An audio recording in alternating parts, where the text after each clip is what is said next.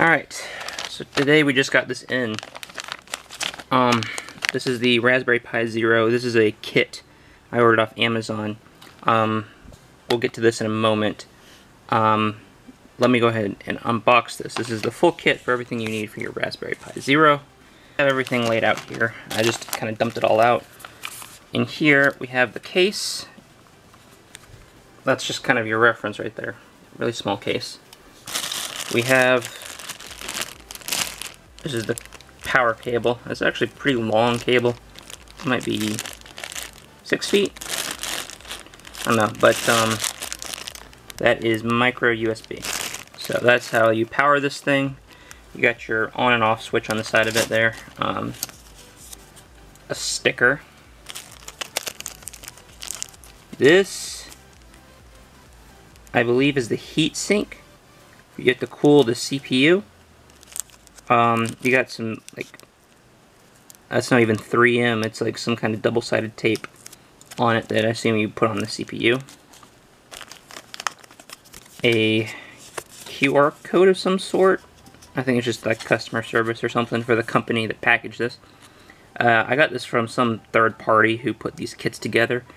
Uh, this is not from like the Raspberry Pi official website or whatever. Um, this is a big one. We got mini HDMI to full-size HDMI. Uh, that'll be useful for connecting this thing to a monitor. We have a micro USB to USB 2.0. Okay. Um, that it'll be for connecting a keyboard um, so that we can run through the setup of it. And then we finally have the Raspberry Pi itself. Uh, this is the, let me get this out of the thing so you can.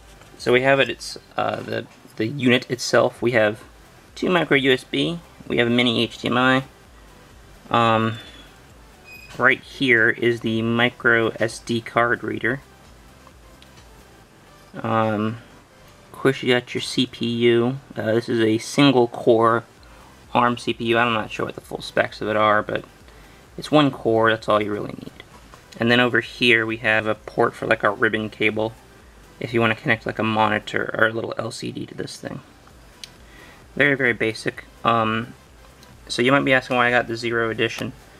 Uh, I'm going to run a Pi-hole off of this thing so that I can just block my ads. Oh, I should mention